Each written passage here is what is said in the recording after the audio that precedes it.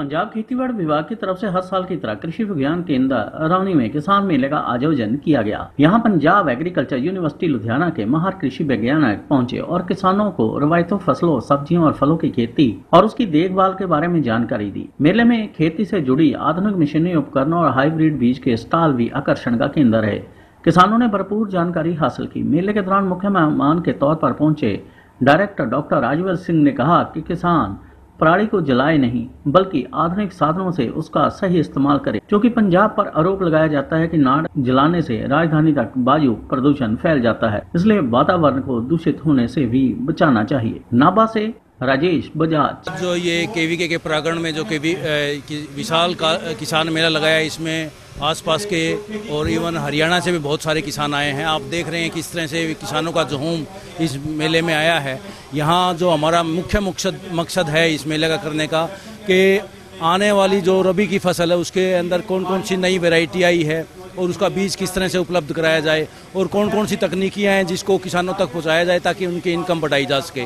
इसके साथ साथ एक मुद्दा हमारा जो पराली को लेके उसके ऊपर भी है कि किसानों को बताया जाए कि कौन कौन सी ऐसी तकनीक है कौन कौन सी ऐसी मशीनरी है जिसके अंदर हम जिनका उपयोग करके पराली का समाधान कर सकते हैं। मैं किसानों से ये ज़रूर आह्वान करूँगा कि आने वाले जो पराली का हार्वेस्टिंग का जो सीज़न आएगा उसके अंदर पराली का सदुपयोग करते हुए और आग ना लगाए वातावरण को ख़राब ना करे पूरी दुनिया में जहाँ पंजाब के किसान की एक अलग अहमियत है पूरी दुनिया उनकी तरफ देखती है तो उनके ऊपर एक काला धब्बा जो लगा हुआ है वो यही है कि भाई वो पराली को आग लगा देते हैं और जो धुआं है वो पूरे आदमियों को जानवरों को और सभी को अ, परेशान करता है तो ਚੰਗੀ ਅ, ਜਿਹੜੀ ਸਲਾਹ ਹੈ ਉਹ ਦਿੱਤੀ ਜਾਵੇ।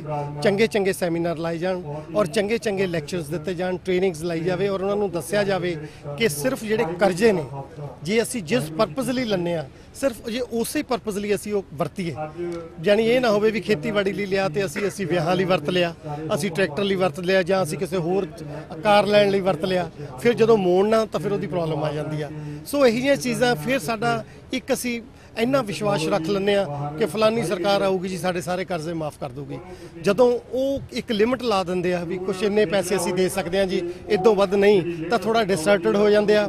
ਉਹਨਾਂ ਦੀ ਉਹ ਐਕਸਪੈਕਟੇਸ਼ਨ ਤੇ ਉਹ ਨਹੀਂ ਉਤਰ ਸਕਦੇ ਕਿਉਂਕਿ ਖਜ਼ਾਨੇ ਦੇ ਵਿੱਚ ਜਿੰਨਾ ਕੁ ਪੈਸਾ ਹੁੰਦਾ ਉਹਨਾਂ ਕਿ ਉਹਨਾਂ ਨੇ ਦੇਣਾ। ਸੋ ਉਹ ਇਹ ਚੀਜ਼ਾਂ ਨੂੰ ਦੇਖਦੇ ਹੋਏ ਇੱਕ ਐਸਾ ਫੈਸਲਾ ਲੈ ਬੈਠਦਾ ਇਨਸਾਨ, ਜਿਹੜਾ ਕਿ ਪਛਤਾਵਾ ਉਸ ਦੀ ਫੈਮਿਲੀ ਨੂੰ, ਉਸ ਨੂੰ, ਆਪ ਨੂੰ ਤਾਂ ਹੁੰਦਾ ਹੀ ਆ, ਪਰ ਜਿਹੜੇ ਪਿੱਛੇ ਬੱਚੇ ਤੇ ਫੈਮਿਲੀ ਰਹਿੰਦੇ ਆ, ਉਹ ਸਾਰੀ ਉਮਰ ਤੜਫਦੇ ਆ। ਕੀ ਬਦਨਾਮੀ ਵੀ ਹੁੰਦੀ ਆ ਔਰ ਪਤਾ ਨਹੀਂ ਕਿੰਨੇ ਸਾਲਾਂ ਤੱਕ ਉਹ ਜਿਹੜੀ ਪੁਸ਼ਤ ਆ ਉਹ ਖੜ ਕੇ ਉੱਪਰ ਤੱਕ ਨਹੀਂ ਆ ਸਕਦੀ। ਸੋ ਅਸੀਂ ਹਰ ਚੈਨਲ ਦੇ ਉੱਤੇ ਆਪਣੇ ਕਲਾਕਾਰੀ ਦੇ ਤੌਰ ਤੇ ਵੀ ਔਰ ਵੈਸੇ ਵੀ ਯੂਨੀਵਰਸਿਟੀ ਵੱਲੋਂ ਵੀ ਅਸੀਂ ਇੱਕ ਮੁਹਿੰਮ ਵੱਡੀ ਹੋਈ ਆ। ਉਹ ਜਿਹੜੀ ਮੁਹਿੰਮ ਵਿੱਢੀ ਆ ਉਹਦੇ ਥਰੂ ਅਸੀਂ ਇਹੀ ਬੇਨਤੀ ਕਰਦੇ ਆ ਕਿ ਖੁਦਕੁਸ਼ੀ ਨੂੰ ਨਾ ਔਰ ਜ਼ਿੰਦਗੀ ਨੂੰ ਹਾਂ।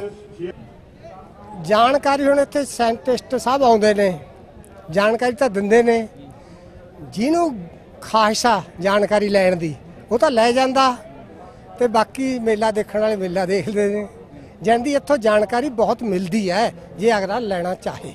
ਬਿਲਕੁਲ ਬੇਕਾਰ ਤਜਰਬਾ ਮੈਂ ਸੁਖਵਿੰਦਰ ਸਿੰਘ, ਸਰਪੰਚ ਸ਼ਤਰਾਣੇ ਹਲਕੇ 'ਚ ਮੇਰਾ ਪਿੰਡ ਆ, ਰਾਮਪੁਰ ਪੜਤਾ। ਅਸੀਂ ਸਵੇਰ ਦੇ ਆਏ ਹੋਏ ਆ, ਇੱਥੇ ਅਸੀਂ ਬਰਸੀਨ ਦਾ ਬੀ- ਬੀਜ ਲੈਣਾ ਸੀ।